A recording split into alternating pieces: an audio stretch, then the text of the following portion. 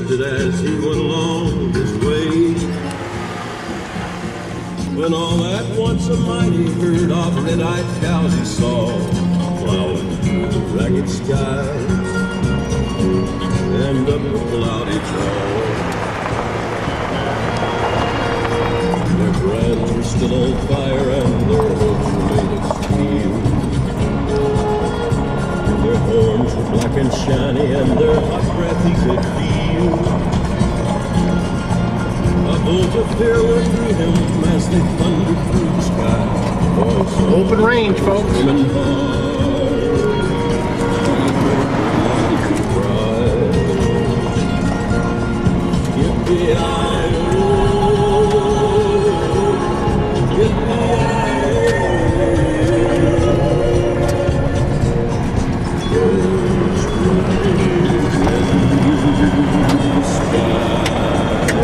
That big sky.